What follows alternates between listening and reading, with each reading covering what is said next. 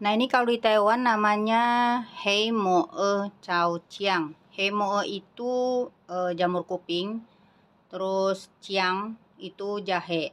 Jadi jamur kuping oseng jahe.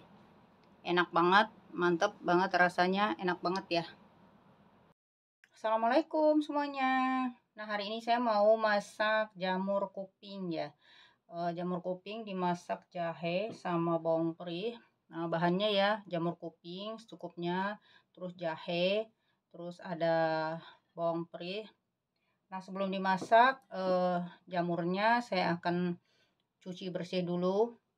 Terus ini kalau di Taiwan namanya hei mo e, chow hei mo e. Yuk kita masak. Nah, pertama ya jamurnya eh, ujungnya sini. Ini eh, kita akan gunting, buang ujungnya nih ya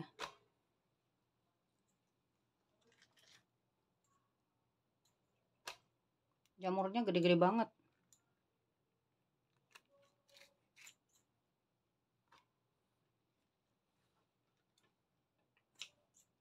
Ini ujung-ujungnya sini buang dulu buang ya. Ini tip cara e, mencuci jamur kuping ya biar enggak bau ya biar nggak ada bau-baunya. Itu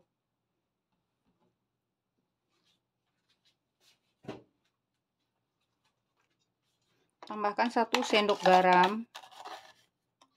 Satu sendok garam ya. Kemudian kita akan rendam dengan air ya. Air panas ya atau air hangat juga bisa ya. Rendam dulu ya dengan air. Ini air panas ya saya pakainya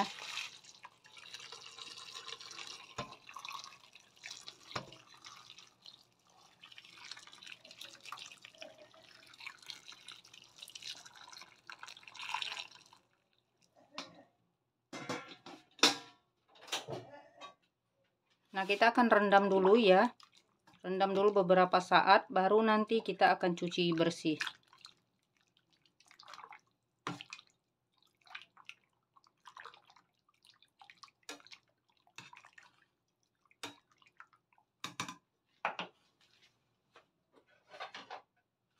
Rendam dulu ya, saya akan tutup dulu.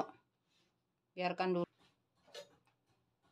Nah ini dia ya jamur setelah kita rendam dengan air panas dan garam. Lalu kita angkat dan uh, dan kita akan cuci cuci kembali ya di air mengalir ya. Biar lebih bersih.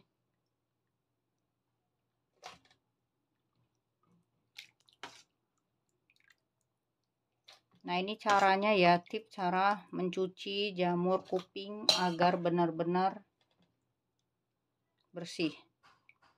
Nah ini ya cuciannya air cuciannya begini. Nah kemudian kita akan mencuci jamurnya ya dicuci dengan air mengalir biar bersih. akan cuci satu persatu ya ini tadi setelah direndam dengan air panas kita cuci satu persatu sini-sininya benar-benar dicuci yang bersih. Dicuci berkali-kali ya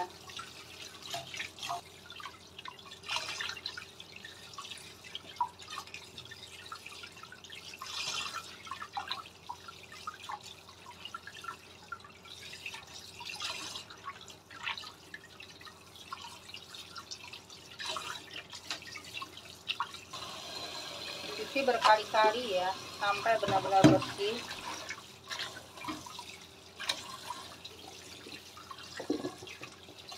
Hmm, sampai benar-benar bersih banget ya di sini sininya itu. Setelah bersih ya setelah dicuci dengan bersih eh, lalu kita akan potong-potong sesuai selera ya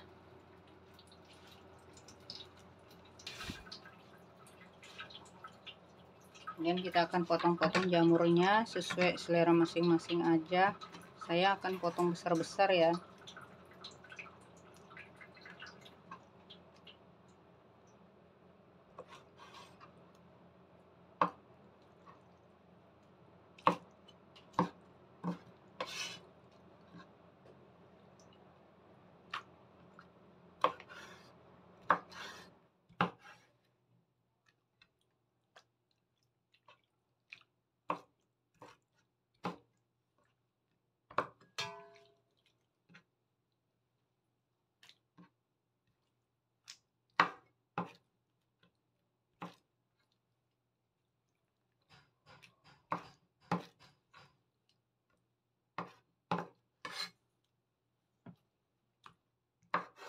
ini kalau udah cuci seperti ini ya uh, kalau misalkan belum mau dimasak bisa disimpan di kulkas ya. Dan dia udah siap dimasak karena udah dicuci bersih dan direndam air panas dan garam. Insya Allah itu udah nggak bau lagi ya ini ya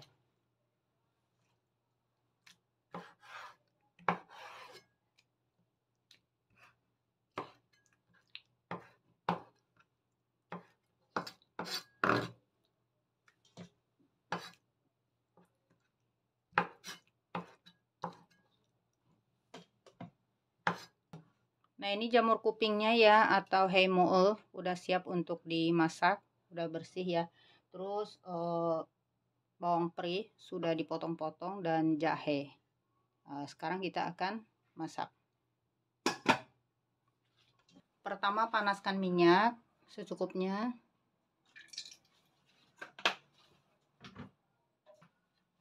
Lalu tumis jahe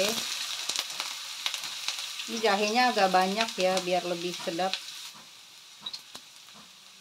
Karena e, jamur kuping atau hemoe itu dioseng pakai jahe itu jahenya agak banyak kan biar lebih sedap.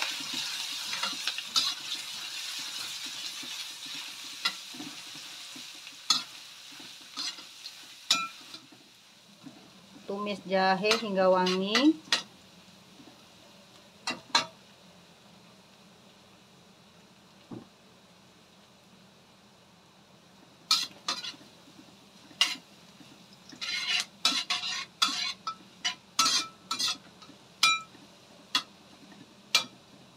Nah setelah jahenya wangi ya Masukkan jamur atau hemoe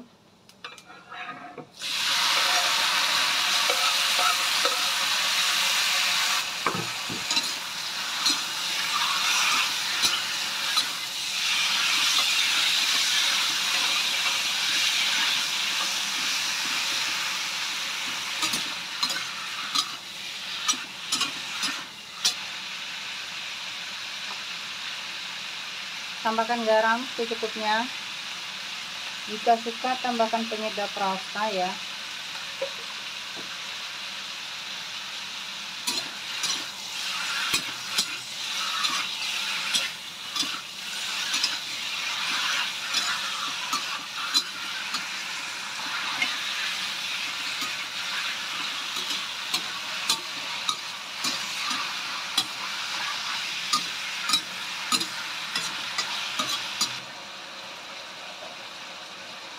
tambahkan sedikit air secukupnya aja ya.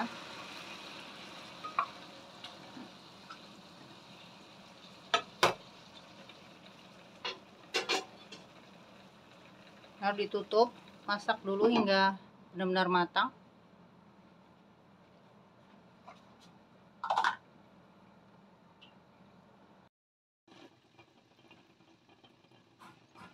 Nah setelah dimasak ya beberapa saat lalu kita buka. Aduk jangan lupa di tes rasa ya. Ini udah matang wah wangi sekali. Kok jahenya enak banget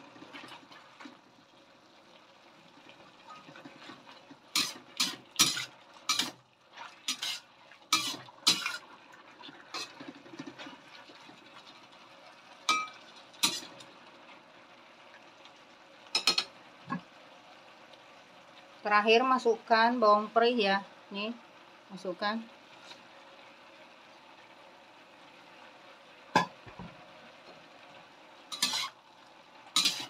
Lalu kita masak dulu bawang perihnya karena di bawang perih ada batang ya jadi masak dulu sebentar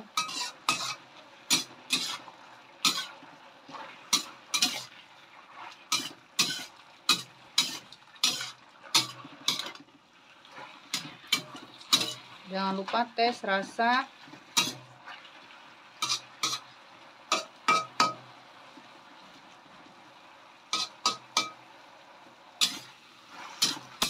Nah ini e, bawang perihnya udah matang juga ya yang batangnya. Ini siap diangkat. Wah ini enak banget. Enak banget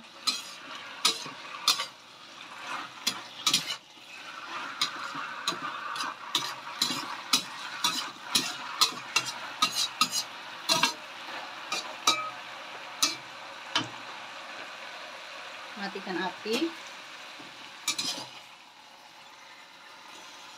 Lalu kita angkat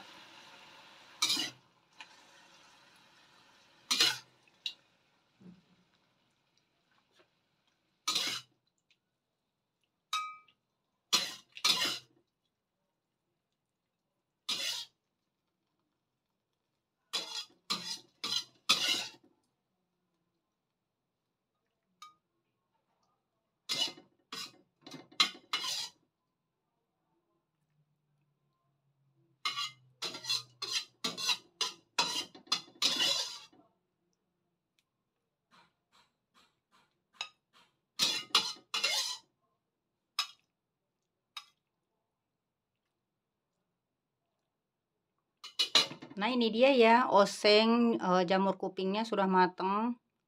Semoga video ini bermanfaat. Selamat mencoba. Bye bye.